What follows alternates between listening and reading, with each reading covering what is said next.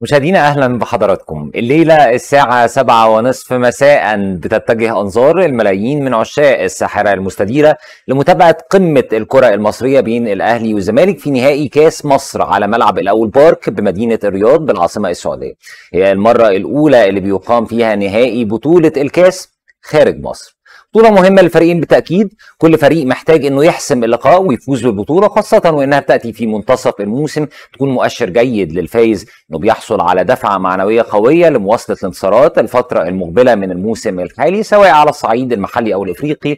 الأهلي اتأهل لربع نهائي دوري أبطال إفريقيا تأهل الزمالك لربع نهائي بطولة الكونفدرالية. حبينا إن التغطية دي تكون معلوماتية شوية لحضراتكم عن التشكيلات المتوقعة الغيابات طاقم التحكيم وكل ما يتعلق بالقمة اللي بنتمنى نشوفها في ابهى صورة إن شاء الله. خلونا نبدأ بالتحكيم بيقود المباراه تحكيميا الحكم البرازيلي أندرسون دارونكو حكم ساحة معاه مساعد أول نيوزا إيناس باك مساعد تاني فابريني بيفلانكو حكم رابع رودريجو بيريرا بالإضافة لحكمين فار رئيسي ومساعد ومراقب حكام برتغالي وهو فيتور بييرا. دي كانت أول حاجة وهي متعلقة بالجزء التحكيمي نروح بعدها لقائمة الفريقين. قائمة النادي الأهلي اللي سافرت بالفعل للقمة فيها في حراسة المرمى مصطفى شوبير محمود الزنفولي حمزة علاء خط الدفاع كان في محمد هاني عمر كمال أكرم توفيق رامي ربيعة محمد عبد المنعم علي معلول خالد عبد الفتاح. خط الوسط سافر عمرو السولية مروان عطية أحمد كوكا محمد قفشة إمام عاشور وكريم نيدفيد خط الهجوم كان في كريم فؤاد حسين الشحات رضا سليم طاهر محمد بيرسي تاو محمود كهربا ومودست. كولر المدرب السويسري للنادي الأهلي استبعد من القائمه وسام أبو علي بعد خضوعه لاختبارات طبية وينضم للغائبين مع محمد الشناوي وأليو ديانج وياسر إبراهيم للإصابة. كمان أحمد عبد القادر كريستو لعدم الجاهزية الفنية ومحمود متولي وكريم الدبيس لأسباب فنية. لو رحنا على قائمة الزمالك اللي سافرت بالفعل للقمة. الزمالك كان في القمة في القائمة حراسة المرمى محمد عواد ومحمد صبحي ومعاذ علاء الدين. خط الدفاع كان فيه حمزة المسلوسي عمر جابر محمود علاء حسام عبد المجيد مصطفى الزناري أحمد فتوح سيد عبد الله نيمار. خط الوسط في نبيل عماد دونجا محمد أشرف رؤى محمد شحاتة أحمد حمدي ناصر ماهر عبد الله السعيد أحمد مصطفى زيزو محمود عبد الرازق شيكابالا مصطفى شلبي ويوسف أوباما. أما خط الهجوم فكان في سيد أو سيف الدين الجزيري ناصر منسي وسامسون أكينولا. بيغيب عن الزمالك محمود حمدي الونش محمد عبد الشافي إبراهيما نداي دول للإصابة. بيغيب كمان ياسر حمد ومهاب ياسر محمد عاطف وترافيز موتيابا وسيف فاروق جعفر وزياد كمال دول لأسباب فنية.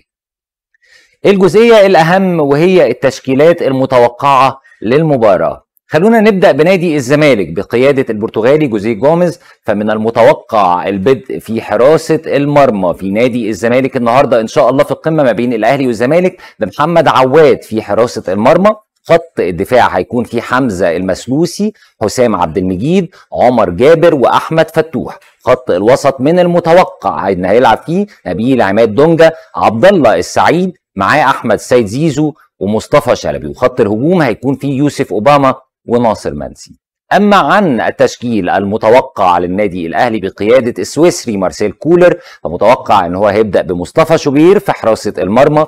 قدامه محمد هاني ورامي ربيعة محمد عبد المنعم وعلي معلول دول هيكونوا في خط الدفاع قدامهم مروان عطية إمام عاشور وعمرو السولية هيكونوا في خط الوسط أما في الهجوم هيكون في بيرسيتاو وحسين الشحات وأنتوني مودست في الهجوم.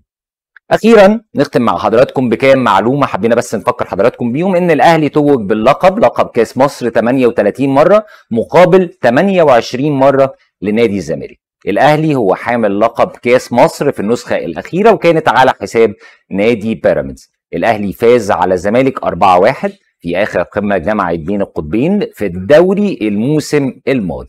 شيكابالا وعلي معلول وعبد الله السعيد وزيزو هم هدافي الجيل الحالي للقمة برصيد أربع أهداف لكل واحد فيهم.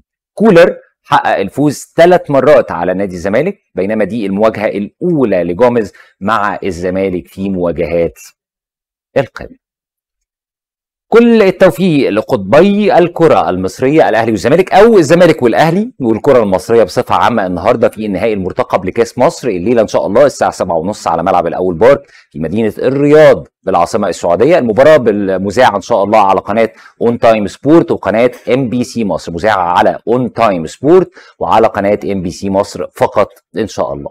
إحنا مستمرين على مدار اليوم في تغطيه كل ما يتعلق بالقمة المرتقبة مع حضراتكم. شكرا جزيلا على المتابعة وإلى اللقاء.